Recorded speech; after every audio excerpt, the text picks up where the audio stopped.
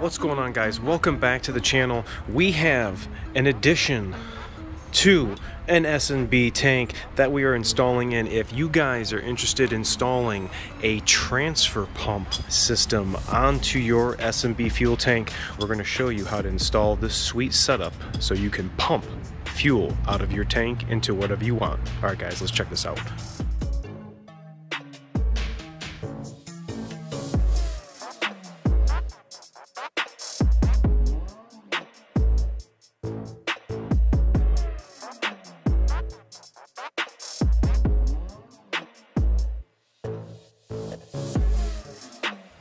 Right, guys, thanks so much for coming back. Make sure to stop through, hit that like and subscribe. We are back today with an install. We already showed you how to put the S&B tank in your Super Duty, but we have not showed you how to install their transfer setup. That is something you can add on to the purchase of your S&B tank for those that are needing to pump diesel fuel out of their tank into generators, equipment, implements, whatever you guys need diesel fuel for. This will actually allow you to pump out 40 gallons of your 60 to an outside source and will leave you a little bit to get to a fuel station.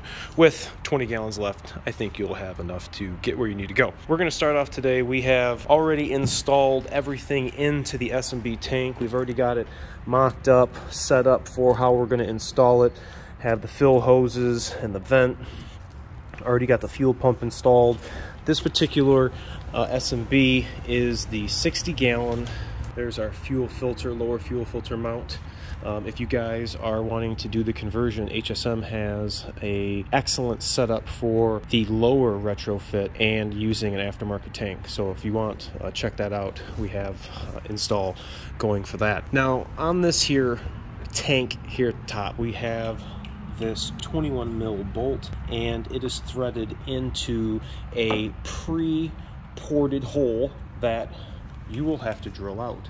Now we jumped ahead and did that prior to installing the fuel pump in the tank. Uh, what I wound up doing was these plastic caps that come on the tank I wound up holding underneath this hole. I caught all the plastic shavings and the tool we wound up using was this right here. It fit absolutely perfect did not hit the threads whatsoever. I would highly recommend that you use this bit. Like I said, I just cupped underneath the hole and was able to successfully capture all of the shavings. One of the things in the kit that you're gonna need first off is this draw straw. They provide you uh, with a pump, which comes with wiring uh, in, in the kit over there. But all the other components we're going to use after we get the uh, draw straw installed and the tank almost up and ready. So one of the things we're going to do before we install this all the way in you're going to have to push it down in there to get past the plastic lip. But don't forget to put some pipe dope or Teflon sealant and get a 15 16ths wrench to go ahead and tighten this in. This fitting will turn on you so that you can index it accordingly uh, to the hose that we're going to install onto this so that when we put the tank up in, we'll have this running over the frame and we're going to show you how it's going to go up into the bed so that we can have this setup upstairs. And if you're going to be using the pipe dope or the Teflon sealant, make sure you get one that is going to be approved for liquids. This one is going to be good for solvents and corrosives, gasoline. So make sure you're going to be using the right stuff because you don't want to wind up with any leaks. All right, so I have went and put on the yellow tape. We got it all installed on there nice. And I'm to install the tube, the draw straw into the tank. Now, this is gonna turn, the straw and the fitting are what is gonna screw into the tank. So, let's get it started. I'm using a 15 16th wrench. I'm pushing down on this fitting while I'm rotating it, just so I can get it started with that tape on there. It's going. Okay, it's starting to snug up, I think I think I'll go one more flat right there. I like that. I like that. Pull this little excess piece of tape off. And then our our fitting is going to be sitting just like that. All right, here's the three foot section of hose that they provide. This is going from the tank up over the frame into the bed and to your pump. All right, so this is 7 8 fitting and it's flared so we're not going to have to put any uh, Teflon tape or anything. And this fitting is going to spin this fitting is going to spin on this line so we'll be able to twist the line into the pump once we get it up uh, into the truck. So let me go ahead and tighten this. All right, got my 7 8 and my 19 mil. Just gonna hold this fitting and tighten this fitting. I'm gonna just snug it down. Just gonna snug it down. okay, that's tight. All right, well, as I tighten this, I guess dummy me, I didn't realize that this was to completely snug this up and this cannot turn on this fitting. So now that ponders a question, how are you going to spin this hose into this pump? Well, apparently once we get everything up into uh, the truck, before we mount this, we're going to have to spin the pump on here and then, you know, snug it with a, a, wrench as we go to install it. So I guess note to self, this was really this really needs to be installed before you guys put the tank up. What I'm gonna do is uh, probably run it like this, put the tank under the truck, feed this hose over the frame, and then feed these over, you know, simultaneously and, and try to uh, get orientation as, as best I can. So our next shot, we're gonna have this mounted into the vehicle and I'm gonna have this dangling over the frame and we'll show you what your next step is to completing this transfer pump install. All right, we have the tank in and the next step is to finally mount that transfer pump. Now you guys can go over the video of me installing the S&B tank already into a Tremor. This is a flawless install, keeping that factory skid shield and that one that they supply for you for the front of the tank. But nonetheless, you guys come up with me over the frame. Here is that 90 degree elbow that we installed on that straw tube. All right, you can see we have we have enough clearance between the body and the tank. And it is running over this mount here uh, for the cab. And you can see the hose. Okay we're going up through that plug. And I'm going to show you what I did to it.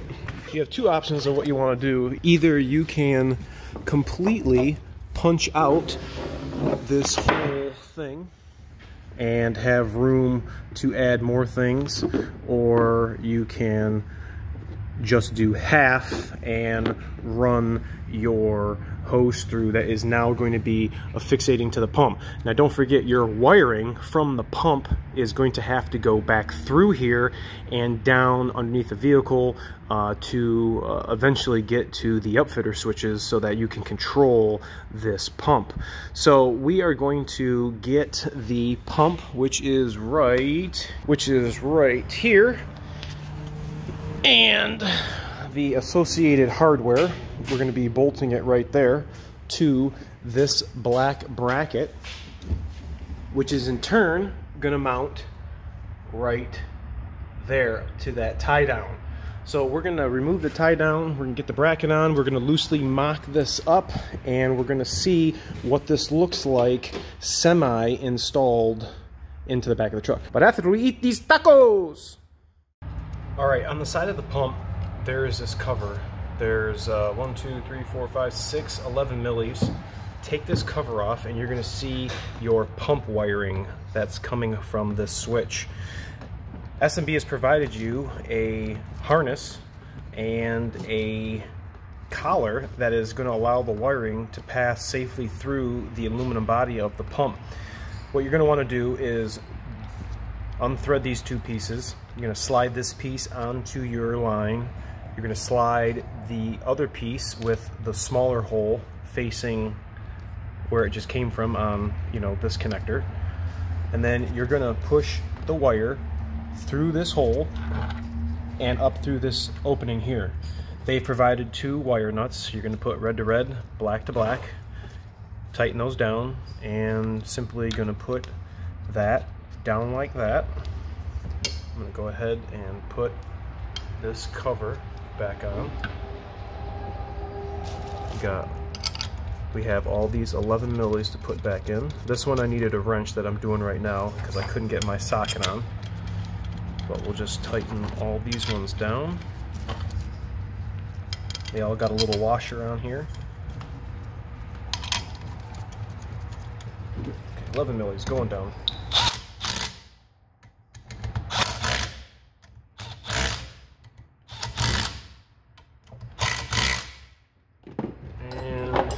This one a final snug.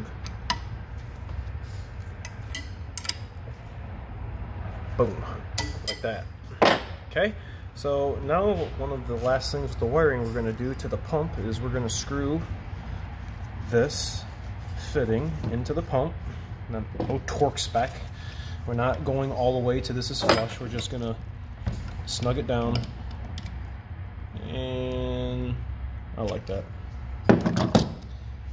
follow suit with this collar and to screw that on. Now that's actually going to press these internals right here against this. You can see they're kind of going to bite in and then that line is not going to move. Again, we're just going to snug it down. We're not going to be over tightening it.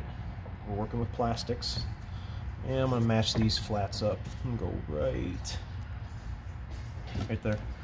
All right, so that completes the wiring for the pump. We are gonna have to install our line, because remember it was uh, non-twistable as we had it already installed to the tank, so we're gonna have to rotate the pump and turn uh, that into the line.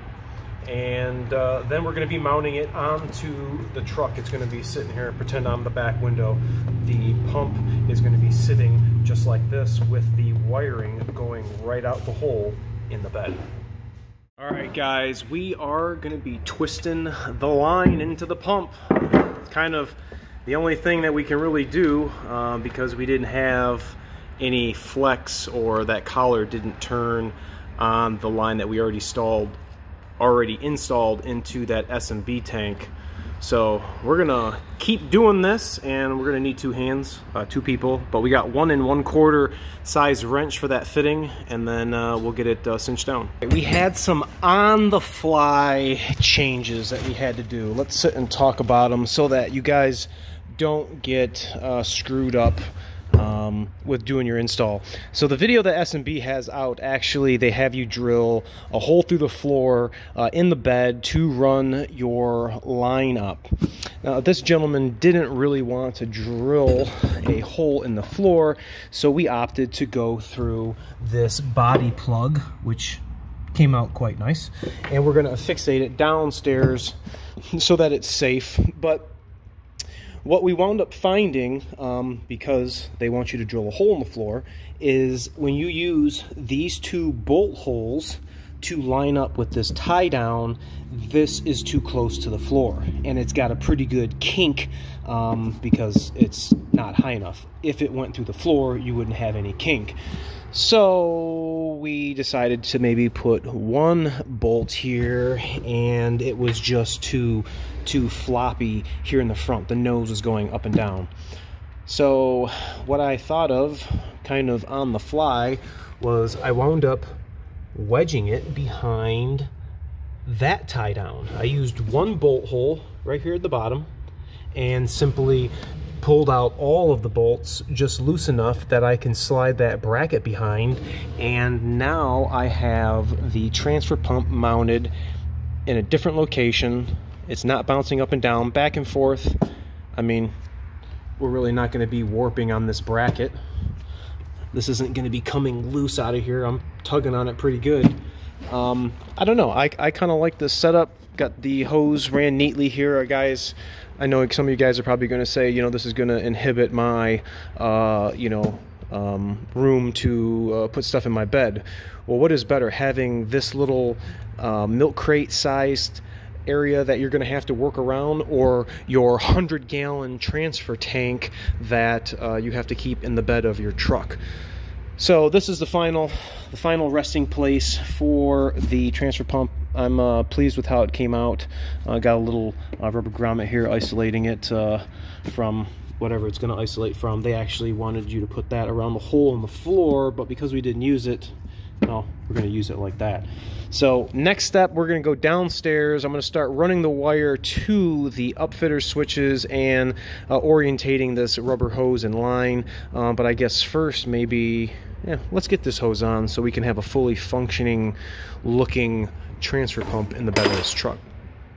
Check it out fully mounted, a little different than what you probably would be expecting um, following S&B's directions, but this is the PTT version without drilling any holes using what we got.